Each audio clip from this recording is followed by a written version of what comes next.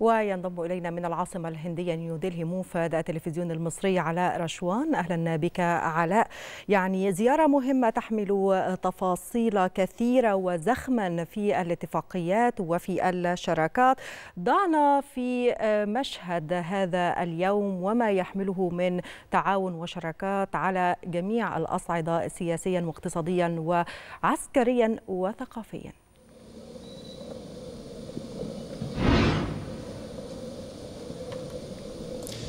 أبدأ من حيث ما انتهى نشاط السيد الرئيس عبد الفتاح السيسي حتى الساعة استقبل السيد الرئيس منذ نحو الساعتين عدد من ممثلي رجال الأعمال وممثلي رؤساء مجالس إدارات 55 شركة هندية بالإضافة إلى رؤساء الاتحادات الصناعية والتجارية بمشاركة وزير التجارة والصناعة الهندي في حوار ممتد على طاولة مستديرة. استمر هذا اللقاء الهام لنحو الساعتين.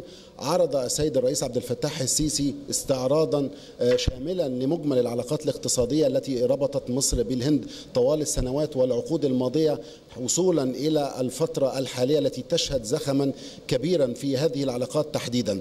في هذا اللقاء استطلع السيد الرئيس عبد الفتاح السيسي رغبة الكثير من الشركات الهندية العاملة بالفعل في السوق المصرية رغبتها في توسيع نشاطها وضخ مزيد من الاستثمارات وأيضا استطلع رغبة عدد آخر من الشركات الهندية التي تسعى وتطمح إلى ضخ استثمارات إضافية في عدد محدد من القطاعات الحيوية التي تشهد طفرة في مصر. نتحدث عن قطاعات إنتاج الهيدروجين الأخضر الطاقة الجديدة والمتجددة الصناعات الدوائية صناعة الكيماويات والأسمدة السياحة المال والأعمال والبنوك وأيضا تكنولوجيا الاتصالات والمعلومات والأمن السيبراني والذكاء الاصطناعي.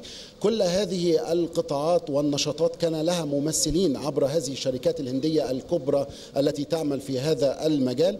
السيد الرئيس عبد الفتاح السيسي رحب بهذه الرغبة وأكد تشجيع الدولة المصرية لكل مستثمر يسعى إلى ضخ مزيد من الاستثمارات تعود بالنفع على الشعب المصري وكل الشعوب التي يعني تسعى إلى التعاون مع مصر في المجال الاقتصادي تحديدا. أيضا الشركات الهندية أعربت عن رغبتها في ضخ هذه الاستثمارات تحديدا في المنطقة الصناعية أو المنطقة الاقتصادية الحرة في محور قناة السويس لما يعني سعت إليه الدولة المصرية مؤخرا إلى تنمية مناطقها الاقتصادية وتشجيع ضخ هذه الاستثمارات عبر حزم من الإجراءات التحفيزية والتشجيعية صاحبتها حزم أيضا إصلاحية تشريعية. في هذا اللقاء الممتد كان قطاع الطاقة الجديدة والمتجددة والصناعات الغذائية والدوائية والأسمدة والكيماويات أيضا قطاع تكنولوجيا الاتصالات والمعلومات.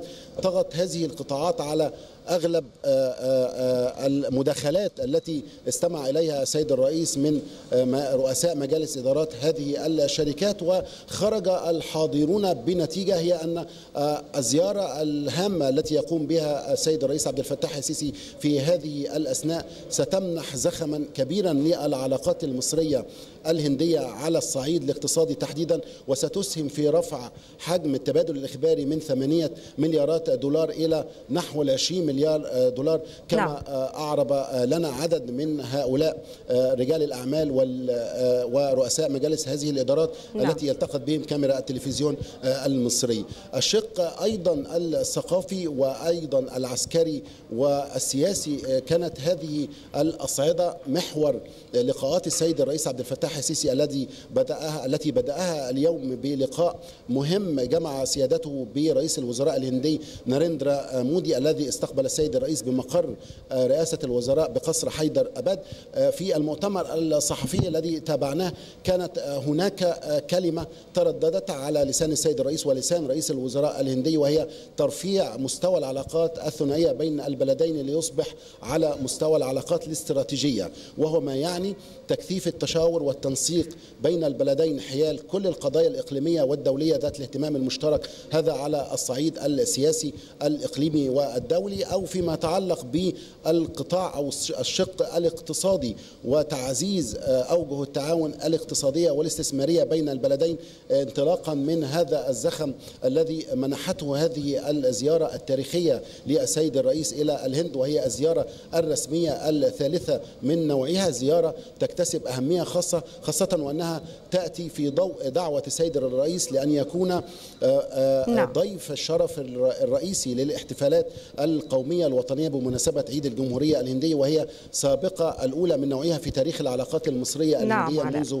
تأسيسها في خمسينات القرن الماضي الشق الشق الاقتصادي حاضرا. وبقوة وأيضا الشق الأمني والعسكري فيما يتعلق بتبادل الخبرات بناء القدرات وتبادل المعلومات فيما يتعلق يعني هي زيارة تتعدد فيها الزوايا على ما بين سياسيا واقتصاديا نعم. وثقافيا وكذلك عسكريا وهو أيضا زاوية مهمة في المباحثات وفي المؤتمر الصحفي. أشكرك جزيل الشكر على رشوان.